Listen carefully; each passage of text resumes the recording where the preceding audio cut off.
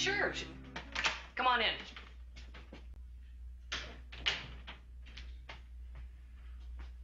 Is uh, something wrong?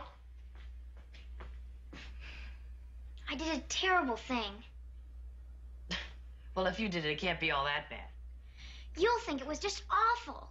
Well, no matter what I think, you can count on me to help. That only makes me feel worse. You see, this terrible thing I did, I did to you. How come I don't know about it? You know about it, all right. I snitched to the folks about your smoking. Thanks a lot, Marcia. You'll probably never want to talk to me again. Hey, hey, cool. Then you're not mad?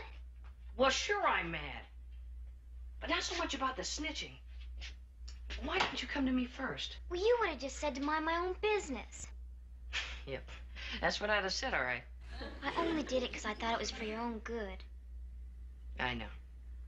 Did the folks punish you bad? No. No, they didn't punish me at all. They didn't. Well, don't sound so disappointed. Boy, if I'd been in their place, I would have given it to you good. I guess it's lucky I was born when I was. What do you mean? Well, if I'd been born any later, you could have been my mother instead of my sister.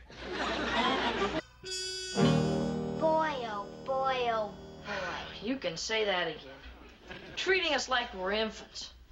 A babysitter. I, for one, would feel absolutely humiliated to be sat for. So would I.